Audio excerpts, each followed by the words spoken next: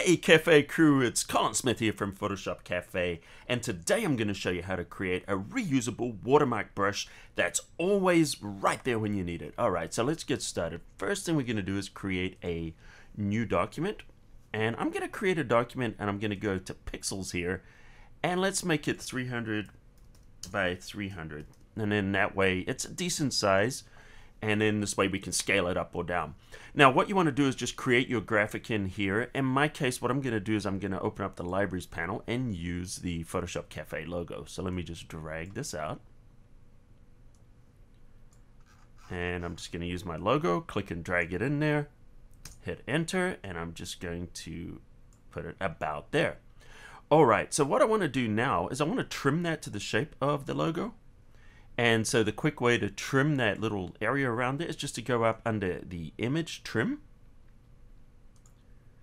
Click on transparency right there and click OK. Now it's going to trim it to the size of that logo. All right. So now I'm just going to right click on the logo, choose rasterize layer. I don't necessarily have to do this, but what I want to do is I really want to just kind of emphasize the darks a little bit more. So I'm just going to hit Control L for levels. and I'm going to pull it down to just kind of darken it a lot more around there. And then I'm just going to click OK.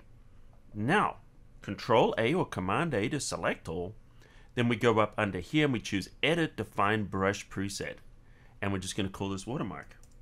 All right, we've created our watermark brush. Let's go ahead and use it. Just hit the B key for the brush. And then we go up and we go to the very last one that we created. That's our watermark brush right there. We need to create a new layer and let's hit the X key so we are painting with white and we can just simply click there to apply it.